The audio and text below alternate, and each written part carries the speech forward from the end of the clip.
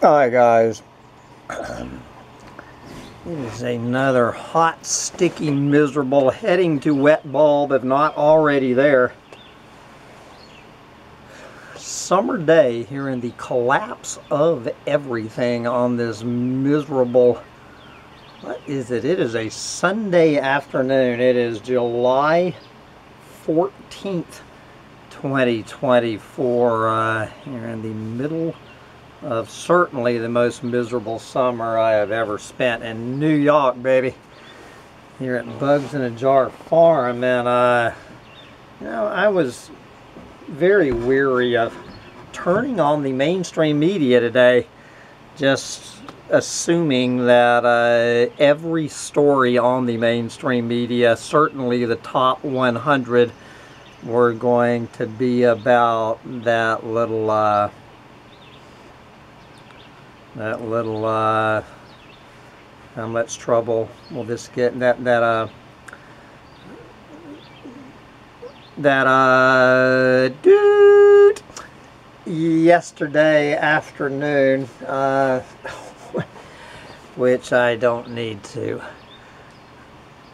remind you of.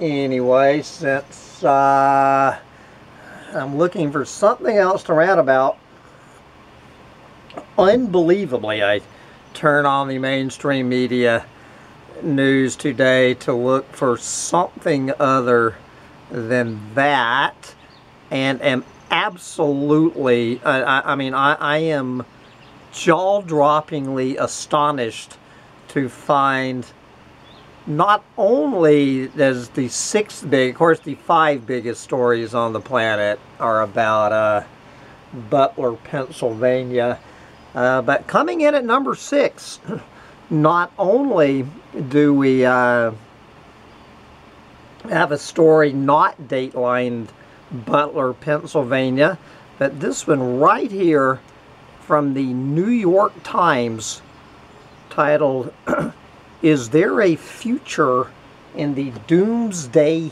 Economy? So, this is the New York Times.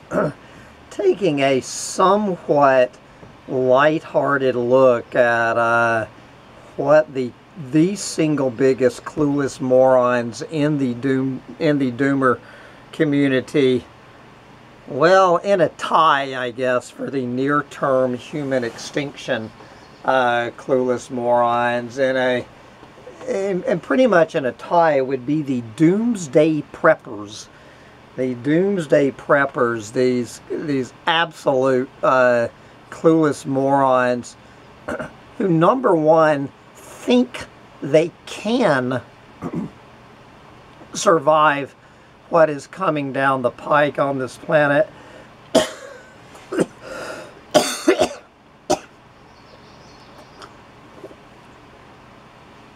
and more importantly than thinking they can is wanting to.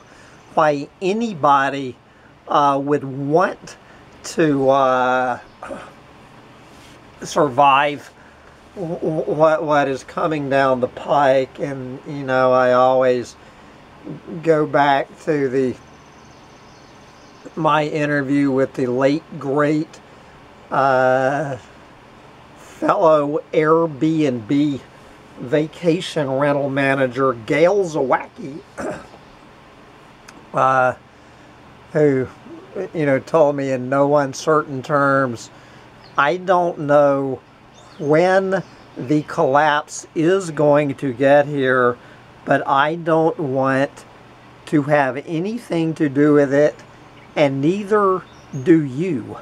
Uh, it, it, it just completely uh, flabbergasts me why anybody thinks they could or would want to uh, survive what is what what is coming. Uh, so of course I have mentioned that there is one thing that I am doing to survive the collapse of everything. Uh, you know, being a fan of Lord of the Flies the one and only thing I have done is I have about 50 pairs of these cheap reading glasses uh, to uh, that, that, that, that is the one thing I have invested in is about 50 pairs of cheap reading glasses. Anyone who knows of Piggy and the Lord of the Flies knows uh, why I've made that decision. But uh, we're not here to talk about me and Gail Zawacki what does the New York Times have to say? And I'll put the link on here, and maybe if you're not uh, paywalled out, you can actually read this for yourself. So I'm not sure I'm going to make it through the whole thing, but uh, let's just start into this and uh, see what comes up. when it comes to surviving the apocalypse, you could do a lot worse than the West Virginia branch of Fortitude Ranch, a constellation of five survivalist compounds across the United States and one of a growing number of businesses aiming to seize on Americans' deepening anxieties about the future. Set on a rise above the lush valley cradling the Lost River in eastern West Virginia, about two hours from Washington, D.C., the 50 acre property backs up against the George Washington and the Jefferson National Forest. A handsome guest house built of dark timber slats anchors the property. Two large boxy dormitories, also timber, but more rustic, as well as a bare bones bunker, are designed to house more than 100 members. They are each expected to pay $2,000 to $20,000, depending on the level of accommodation, to join Fortitude Ranch and then pay another $1,000 per year per person and dues to call this their home fort, meaning they will head there when catastrophe strikes. Yeah, uh, like like number one, these clueless fucking morons thinking they're they're just you know a nuclear war, you know a nuclear strike or whatever. They, think, these clueless fucking morons, they're just to hop in their gas-sucking car and, uh, head off to the hills, literally head into the hills. Like, like the roads are to be open. There, there, there's not going to be cops and robbers with checkpoints uh, every half mile. Uh, that they're going to have gas for their gas-sucking cars. So yeah, so uh, catastrophe strikes, and, and, they just throw the kids in the in the car and head into the hills to Fortitude Ranch. You, know, I, I, I, already see a, uh, a problem forming here. I don't know if the reporter for the New York Times uh, asked the question exactly how will they head there when catastrophe strikes? But anyway, since we are putting, uh, what are we doing? Uh, what's it called? Suspending disbelief. We're going to suspend disbelief and way deeper into this ain't gonna happen uh, story. I, I, was just gonna throw this in the ain't gonna happen roundup, but uh, it deserves its own level of uh, uh, of you, you know vitriol. Some of the rooms, which vary in size and luxury, are stocked with plastic bins and duffel bags as if awaiting a college student. But there is a more serious purpose at work here. Survival. Yes. a, spa a spacious underground shelter protected by layers of concrete, steel, and wood connects the two residential buildings, its walls lined with cans of coffee and tuna. Well, uh, at least they at least they got the coffee part right. You know, I, I would be pretty pissed. You, you know, if I paid all of this money and uh, and, all I could get was uh, was a lousy tuna fish sandwich at the end of it, but at least they had the brains to uh, pack in uh, the uh, the cans of coffee. Good for them. That's that's the one smartest, one smart thing I've heard mentioned in this article yet. As well as enormous buckets of ready-to-eat meals. There are also underground living and meeting rooms. Inside a locked armory, assault rifles and crossbows repose on wall pegs. On a tabletop sits a 50 caliber rifle which could be used to take out the engine block of an approaching vehicle. Exactly. Uh, like all of the 50 caliber rifles uh, lining the roadway uh, from Washington D.C. to this place. Uh, Oh. An inert radiate, radiation detector is positioned nearby. There are two at each compound. Guard towers ring the property. The dormitories have balconies with clear, continuous sight lines along the edge of the forest. Outside, pens hold chickens, sheep, and rabbits. Chickens, sheep, and rabbits who assuming do not get, uh, you know, turned to radioactive dust uh, when DC goes up in a mushroom cloud. Their meat and eggs are intended to supplement the 2,000 calorie per day diet that all members are guaranteed for at least one year. There you go. We'll be eating a lot of kebabs. There you go, rabbit kebabs for the end times, said Steve Renee, who manages the West Virginia compound and also serves as the company's chief security officer. He is one of three workers who currently live on the property.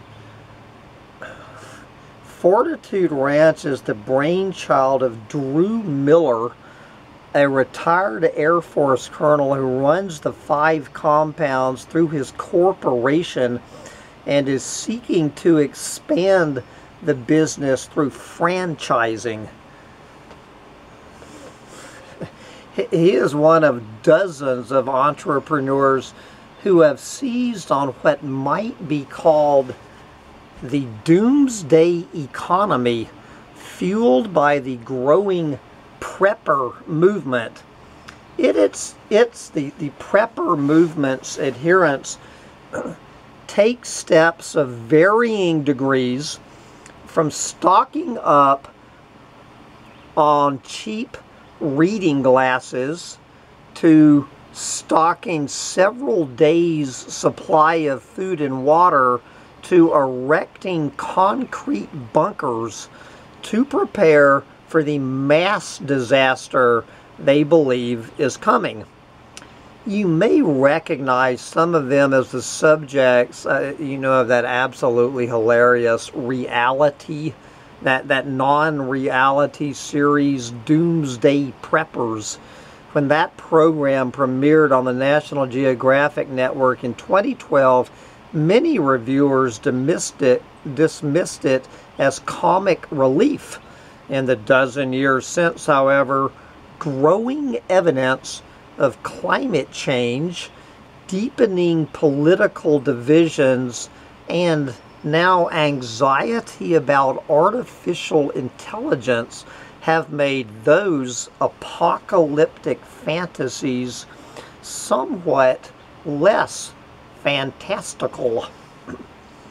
Quote, Things are changing, said John Ramey, founder of popular prepping website The Prepared, the upcoming presidential election. And of course, this article uh, came out yesterday. Uh, so this article actually hit the New York Times yesterday, uh, right when that little, uh, that little, uh, dare I say it, the, uh, what, what I want to say is MO, that little MO uh, in Pennsylvania yesterday, so you better damn believe that uh, the the prepper community right now is an absolute overdrive. That uh, that John Ramey, uh, his website has probably crashed as these clueless fucking moron doomsday preppers are, are now uh, clearly preparing for all out civil war to uh, break out in November as if it didn't break out yesterday. And, and I and, and, I am not making fun necessarily of those people uh, predicting uh, an all-out civil war erupting after the uh, after the uh, the shot heard, heard around the world uh, was fired yesterday. But anyway, uh, said we weren't going to talk about that. Uh, the upcoming presidential election has a majority of Americans fearing violence.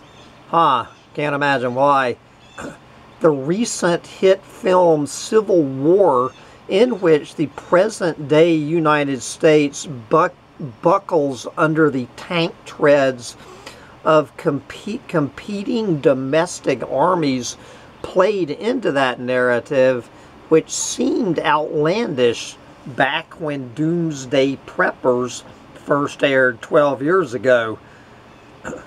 The companies that have staked their claim in the doomsday economy include American Reserves, which also offers prepper essentials like a 12 month supply of food for $2,800, assumingly that's per person, $2,800 per person, and an emergency crank radio for $60.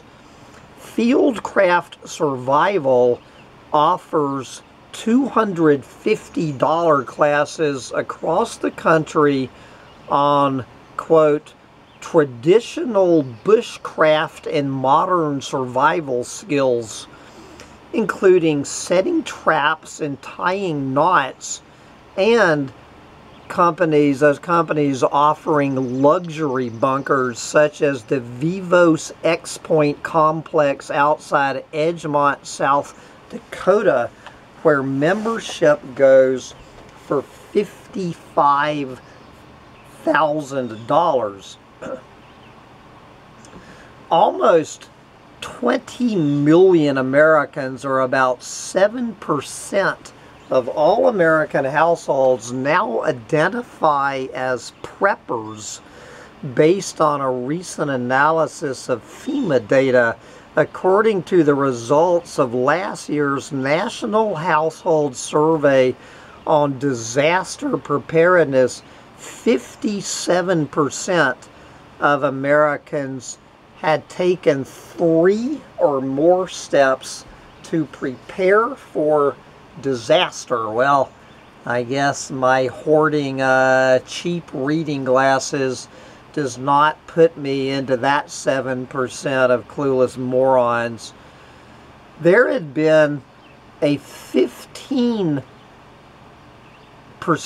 increase in the share of respondents who, quote, assembled or updated supplies, uh, close quote, from the year before FEMA found. Although they probably would not identify themselves as preppers, some wealthy Americans, particularly those who made their fortune in Silicon Valley, have begun to build lavish survivalist compounds on their own.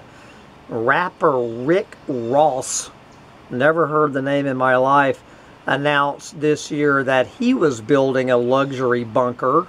Mark Zuckerberg uh, is developing a $100 million, 1,400 acre compound on the Hawaiian island of Kauai that, according to Wired, includes a huge underground bunker of 5,000 square feet that will come with its own energy and food supplies.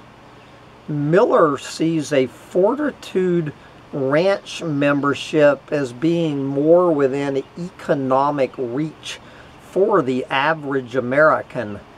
A quote, Spartan accommodation offers little more than a bunk bed in a hallway.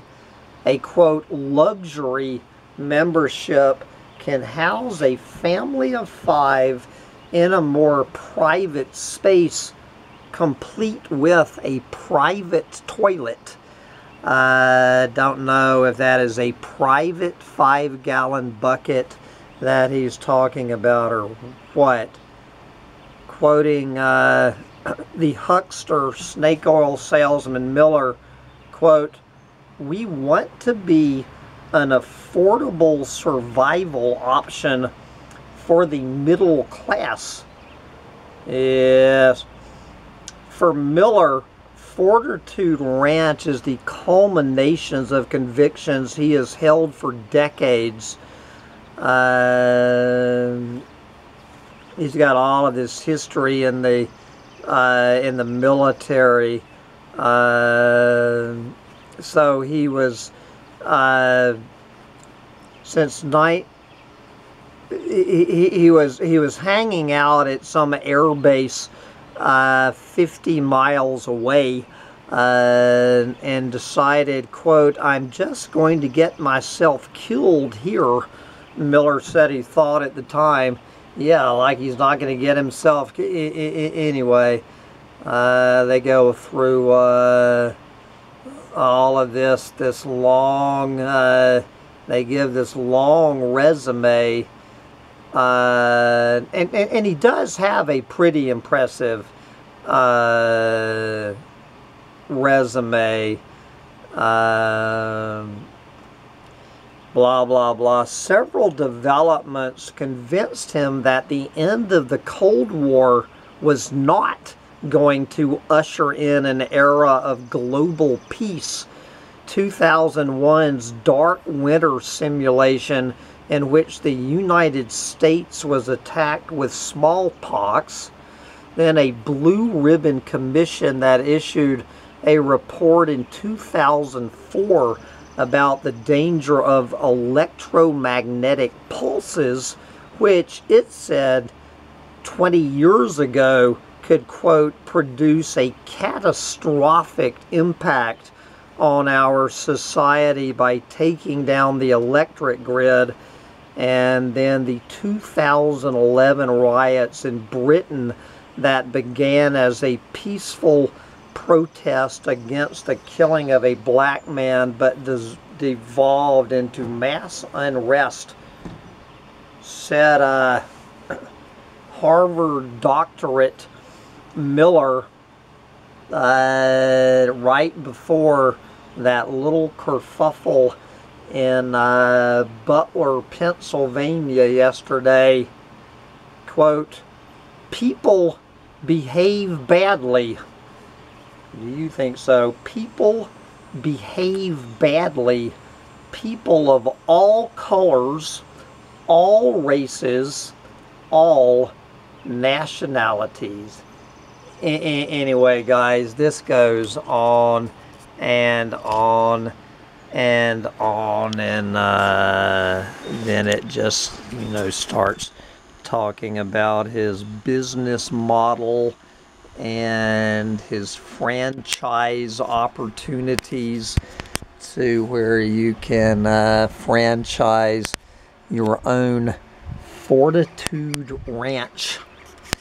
And I assure you that uh, Fortitude Ranch uh, is going to be uh, fielding probably millions of calls from clueless fucking morons uh, in the next few days if it isn't already. But with that, I got to wrap up today's Chronicle of the Collapse. Get ready for my own uh, I, I guess, survivors of the collapse coming to check in to Blue Dragon and Seahorse tiny houses here at Bugs in a Jar Farm to see if they can survive the wet bulb temperatures of the summer of 2024. There was one uh, thing. Uh, I would. Here we go. Uh, this quote that I did like. Uh, the the uh, the Fortitude Ranch motto: "Prepare for the worst, enjoy the present." And there you go. Uh, so maybe the the uh, preppers are not as clueless as I thought. Prepare for the worst. Enjoy the present. Uh, that is exactly what I am getting ready to do. Bye, guys.